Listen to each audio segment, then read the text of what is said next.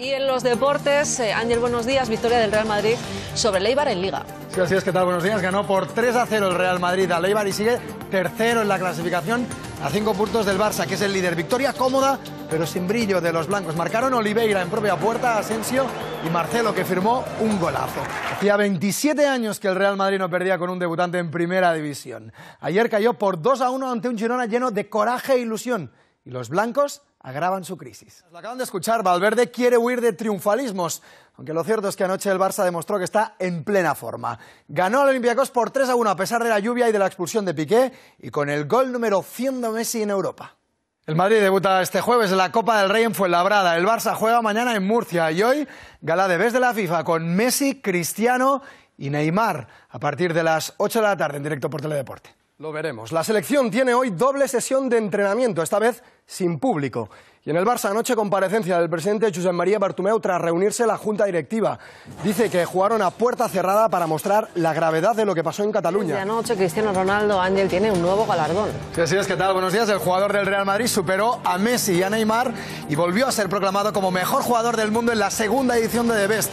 La gala de la FIFA encumbró a Cristiano que ganó con el 43% de los votos y al Real Madrid. Zidane ganó el premio a mejor entrenador y los blancos coparon el 11 con cinco jugadores. Argentina estaba fuera del Mundial hasta que apareció él, Leo Messi. El de Rosario demostró por qué es uno de los mejores jugadores de siempre con un triplete para la historia. Bueno, ayer volvió la calma al entrenamiento de la selección española de fútbol, Ángel, que se celebró sin público. Sí, así es, ¿qué tal? Buenos días. Nada que ver con los gritos del lunes contra Gerard Piqué. El defensa del Barça recibió además el apoyo de sus compañeros y del seleccionador. Piqué pudo trabajar tranquilamente. Serbia también consiguió el pase anoche y Gareth Bale no estará en el Mundial tras la derrota de su selección de Gales. Roja ya está en Alicante. Ángel, buenos días. Y hoy va a entrenar de nuevo con público. Sí, así es, ¿qué tal? Buenos días. Y veremos cómo reacciona hoy la afición tras las palabras de ayer de Piqué, que compareció por sorpresa y respondió a todas las preguntas durante 35 minutos. El equipo entrena esta noche en el Rico Pérez. El... Gala de Bes que veremos esta tarde en Teledeporte. Y atención al Leganés, que es quinto en la clasificación y lleva cinco partidos sin perder y sin encajar un gol. Anoche ganaron al Athletic Club de Bilbao. ¿Qué tal? Buenos días. Los blancos tardaron en coger las riendas del partido. Los dos goles de penalti llegaron en la segunda parte y el primero, dudoso. No está claro si el agarrón de Fran García Agra fue dentro o fuera del área. Y la polémica está servida. Vean.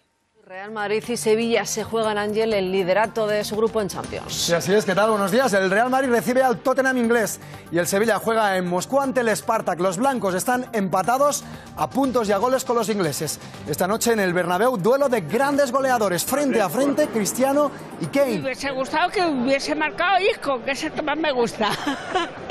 ¿Y usted? ¿Qué tal? Buenos días. Ni Isco ni Benzema. Marcó Cristiano Ronaldo de penalti para igualar el gol de Varane en propia puerta.